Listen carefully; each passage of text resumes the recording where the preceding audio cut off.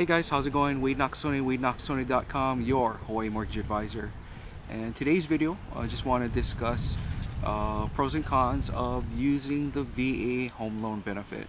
So if you're a veteran, or even if you're in the reserves or National Guard, you have the ability to obtain a Veterans Administration or VA loan. And uh, I'll be quite honest with you, this is the best loan possible. And the reason why is it requires no down payment. Um, typically, the rates are a little bit lower than your regular conforming rate, uh, which is also a bonus.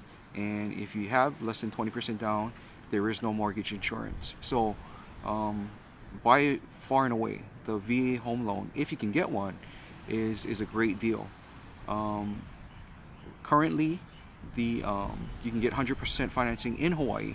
Well, actually, it's county based, so it changes by county. But Honolulu County, uh, it's close to 800,000 at this point. So, um, does that mean you cannot purchase above 800,000? No, that's not the case.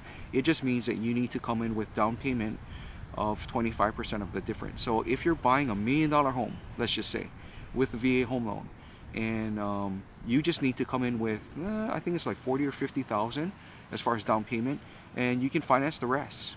Um, so great deal. Uh, VA home loans, um, definitely the best way to go if you can access it. It has to be owner occupied. That's another, um, you know, uh, benefit of it or you know, guideline of it. But uh, if you have any questions with regard to VA loans, feel free to reach out. Uh, like, subscribe, share, and as always, make it a great day.